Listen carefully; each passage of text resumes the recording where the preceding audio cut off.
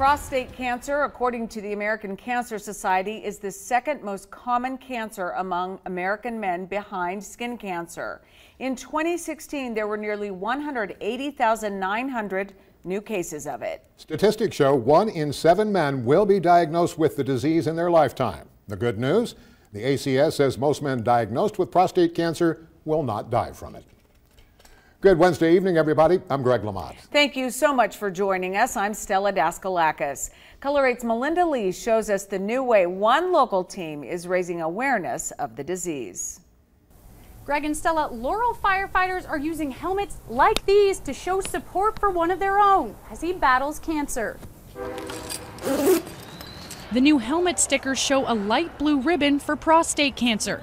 On top of the ribbon, letters symbolize the last name of one Laurel firefighter battling the disease, Rick Gallegos. Gallegos says Laurel Fire is his second family as he's worked with the team for 17 years.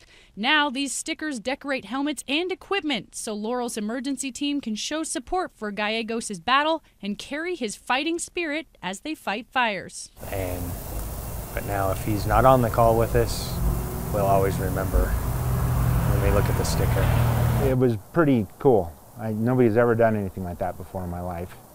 And you can find more information on prostate cancer and local resources on our website. At Laurel Fire Department, I'm Melinda Lee. Back to you, Greg and Stella.